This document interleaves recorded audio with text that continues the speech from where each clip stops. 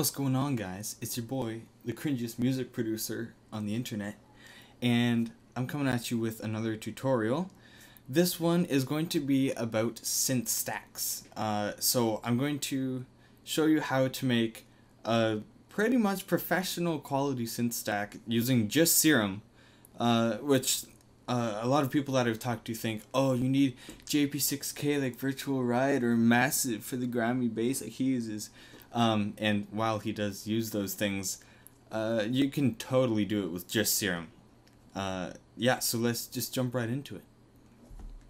Okay, so I've prepared a little chord progression that our synths will be playing, so I'll just play that through now and then we'll get into the actual sound design.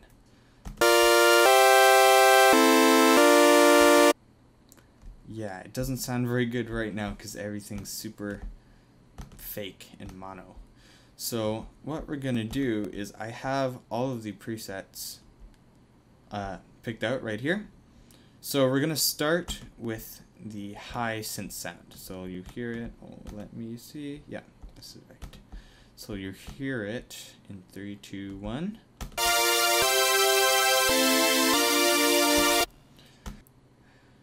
So we've got one saw wave uh, at 16 voices detuned down just a little bit. You want it to be pretty detuned on the higher synths so that you get that wider feeling and more kind of epic feel.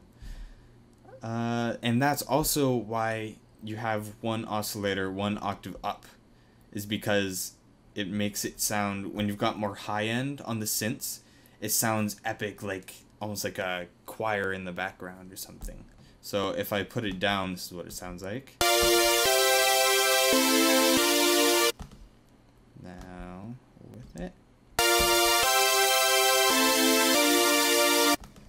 Just like some extra character. Uh, so next we've got just a multi-band compressor on with a threshold down to about 12.5 negative 12.5 decibels and I didn't really touch anything else. Uh, reverb I literally just turned it on and it sounds awesome like that. So I'll just keep it there. Uh, this reverb is pretty quiet. Let's turn up to about 30%. Okay, that's weird. Uh, I'll put it back down. I can't hear the reverb for some reason. Maybe you guys can hear it. So this is it for the wider synth. Like, it's just two saw waves, one up an octave, both at 16 voice, detuned down a little bit just so that it's a little bit detuned on the outside. And, oh, and I put the volume for oscillator B down just a little bit because it's pretty loud. Uh, if you just have them both at the same, the same volume. Okay, so let's clone this, copy that, and paste it there. So, what this one is, is the narrow low. So it's a it's the same kind of idea for the sound. It's just more detuned, and once we get into the effects of everything, you'll see why it's called narrow. It's it's still pretty stereo, but not as much as the last one. So this one I've just got the detune up a little bit more, and the octaves are the same and the levels up a little bit more on this one because you can't have them both just blasting full. Uh, same exact same effects. I just have the size up a little bit on the reverb.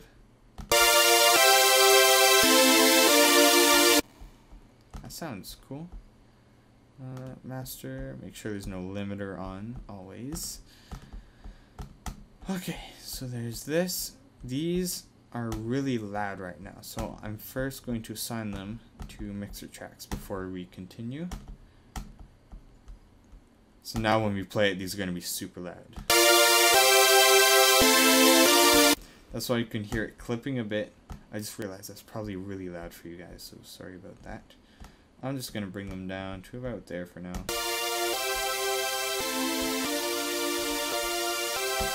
Awesome. So let's solo this one.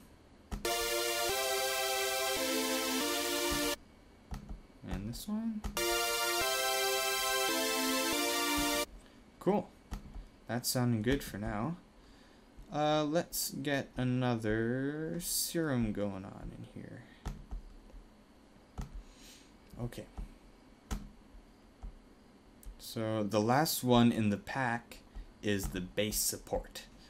Uh, so this, if you've ever seen Virtual Riot's making of Lunar video, you've seen how he has one serum, like the first one that I showed you, um, really wide and kind of detuned. Then he's got a JP6K that's playing more of a mono bass or mono synth like this. Um, and then he's and then he went into massive and made a support bass to go on top of the sub bass to give it just a little bit of griminess.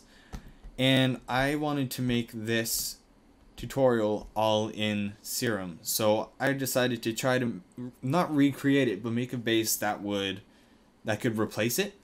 And I think I got a pretty good one.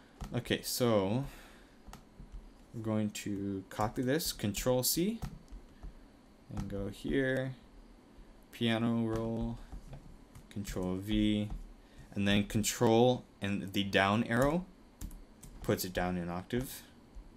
And we'll do one more. So the reason I only took, so the reason I only took the ones around F2, E2, not the ones all the way that went all the way down to C2, is because you don't want it to get too low because at that point it's just it's just wet and not a sound anymore that can be used in a song and like sounds good and also you can't play C2 with a sub bass it's just way too low and very few speakers are going to pick that up or any headphones. And so this is what the bass sounds like.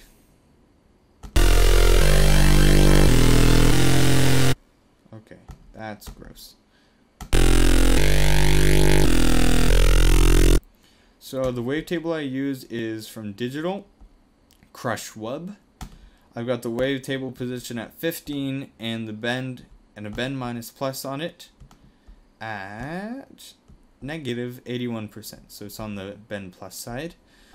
Um, I've got a little bit of unison in here, three voices, and the detuned down a lot because I wanted it to be wide like the synths so it doesn't take up the space of the sub bass. But at the same time, I didn't want it to be detuned because it detuned support bass doesn't sound good and it tends to stick out in a mix. Um, so in terms of, of effects, I have distortion, tube distortion on up a lot of the way um, just to make it a little bit grimier. So if I take these off, uh, and we'll hear it now. That's nothing. Like you can barely hear the high end on it. So, whoops.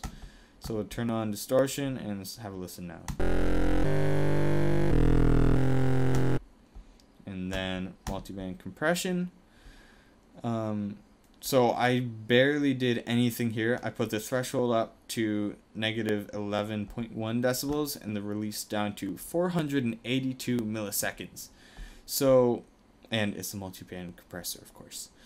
Um, it also looks like I put the gain up, which I don't usually do. And oh and i also put the mids up on the like ott looking thing here. Put the mids up and the high end and low end stay the same. So what this does is just giving it more high end and crispness and but when i have the mids down at 100% with the high ends um, it was a little bit too like crunchy. You could hear it through the synths which I didn't want. So I just wanted the mids to come through and you, you want to feel it more than you actually hear it. Uh, so now with the compressor, it sounds like this. Uh, actually, let's get a before and after. So before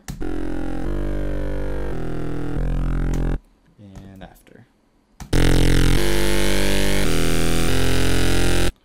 Yeah, that's that's a lot better. So let's send this to a mixer track. Put it down. So once we have all the elements, then I'm going to start mixing them all together. So these, this is how it sounds so far. Cool. So now I'm going to copy this insert serum. And I didn't make a preset for the sub bass because it would be pointless. Like you click six times, one, two, three, four, five, six. Basic shapes, pure sine wave. That's it. You're golden.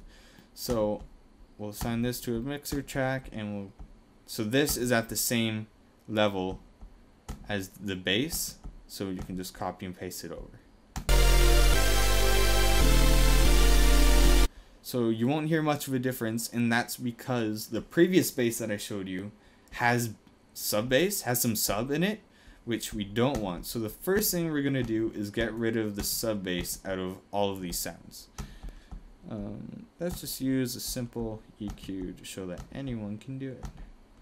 High pass, steep 8, and then just bring it over until you're just cutting out the 100 there. Um, so there's synth 1, done. Synth 2, steep 8, high pass,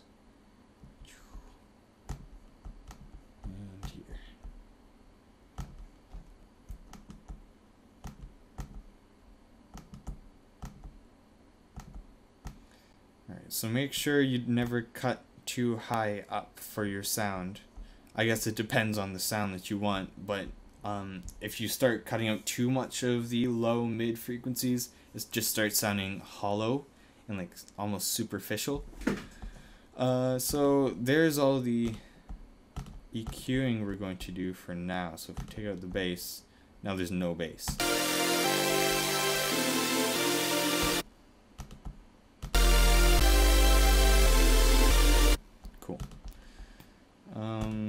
This is the sub bass. So the main thing that you want to do for your subs I usually have my sub bass hitting at about negative 15 decibels. I don't know what other artists use, but that seems to be working for me.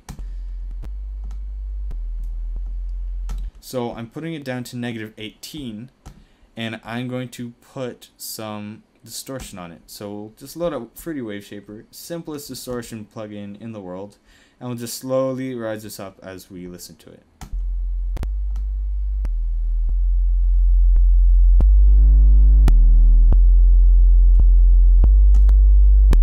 That's good. You probably won't be able to hear it unless you've got good headphones or good speakers but um, it it sounds good. You get those nice overtones without like the crunchy actual high end on it. Um, so that's it for the bass. Now we'll just turn it down.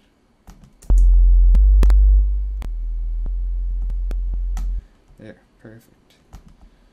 Uh, now this is done. We don't need to do anything else on the support bass but turn it down apparently. We'll get that down to hitting around negative 17 decibels.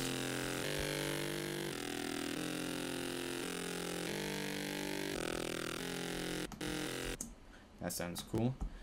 Alright, so these synths, we're going to get the stereo enhancer on both of them. And this just makes them super wide if you want. So with this one, I'll solo it. This is the more mono bass or mono synth, and I'm not going to put I'm not going to offset this too much, but you'll hear it now. Oh wait. Oh no. Alright, this is the wider synth. So we want this to be pretty off to the side. This is the phase offset, and it says how much the left and right of the signal are offset from each other. So if you hear it now, it all starts at the same time. But if I put this, let's say all the way up, just uh, not all the way up. So now the left is hitting, you can see in the top left corner, about 200 milliseconds before the right. So now if I play it, 200 milliseconds after the right. Um, so we just want to get this to the point where you won't hear it too much. That's fine because on the um, initial hit of the synths, it's gonna be there's probably gonna be some side chain and a kick or something, so you won't hear that too much.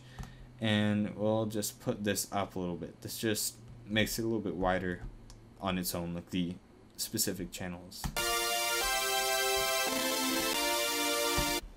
Awesome. That sounds cool. Let's see what the levels are like. So we want this higher one to be at around negative 15. That works. Put up a little bit. And now this is the last one. That doesn't need much enhancing.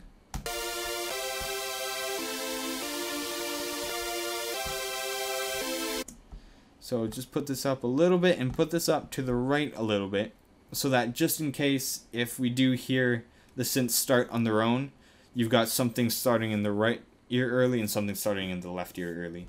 So it kind of cancels each other out and they won't even notice. So there's that. How loud is this? Uh, we don't want it to be too much quieter than that. We'll keep it there. And that should be good. I haven't listened to it all together, so it might be horrible. But let's try it out. That sounds cool. Uh, let's turn this up a little bit.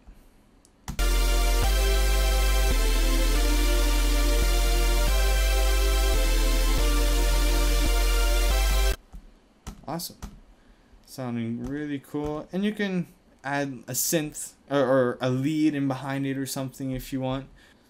So this was a pretty cool sounding synth for just being Serum and very very little post processing.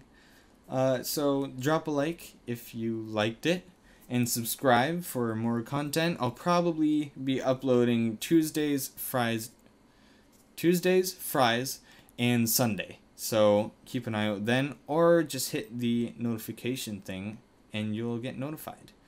I'll see you in the next video.